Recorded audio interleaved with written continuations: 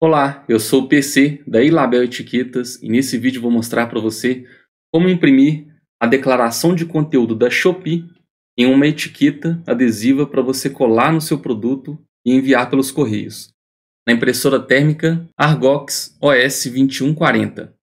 Bom, você precisa de um sistema ERP, no meu caso eu uso o Bling. Então quando o pedido vem da Shopee para ele, eu consigo clicar aqui nessas três bolinhas e selecionar Imprimir declaração de conteúdo. Posso escolher via única. Verifico se a impressora Argox OS 2140 está selecionada. Coloco o layout Paisagem.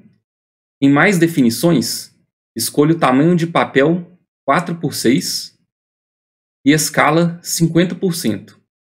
Se ficar 100%, a etiqueta fica desconfigurada. Então coloco 50% e clico em imprimir.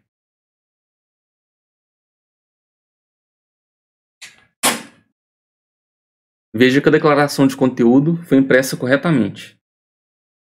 Se precisa saber como instalar essa impressora, eu já gravei um vídeo ensinando como, vou deixar aqui no card.